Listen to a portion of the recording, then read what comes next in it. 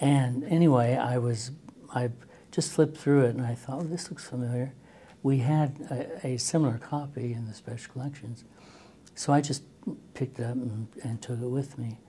And um, um, when I got back to the office, I was comparing it with the one we had. And, but the one I had just discovered in the bear trap was inscribed.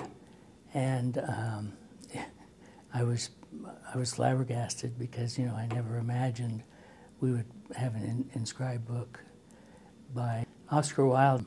And uh, anyway, it turned out to be pretty valuable, worth several thousands of dollars. And uh, so we put it in special collections.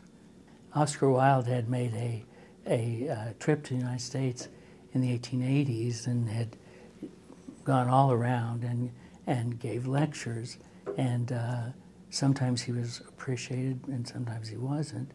But uh, I, he was in Topeka at that time and hmm. spoke at the old uh, uh, opera house. And I thought to myself, and of course, this is an assumption that I made, that probably after his, his lecture, somebody had uh, uh, gone backstage or at the stage door, and when he came out, asked if uh, he would sign their book.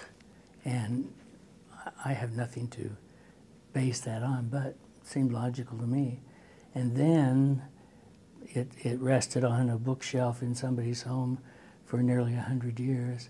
And uh, then somebody cleaned out that home and here came the book. Thank goodness it came to the library because otherwise, who knows where it might have ended up. So when the book sale, the library book sale started in 1971, uh, and I, start, I started work here in 1971, the second time, and um, so I worked with the ladies in the book sale sort of uh, superficially in those early years, but uh, I was I was thinking back that I cannot think of a sale I missed. I mean, from that time on, it seems like I was either a patron of the sale or helping with the sale, and uh, it it was it it was great fun.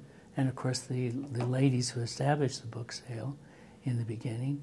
Um, Ann Peel, Mabel Moses, all of those ladies who were so into the library and wanted it to be so successful uh, worked, gosh, they worked like crazy getting that together. In the first uh, book sales, there used to be a drive through garage on the back end of the library where the bookmobiles parked, and um, they would move the bookmobiles out and set up tables and all that sort.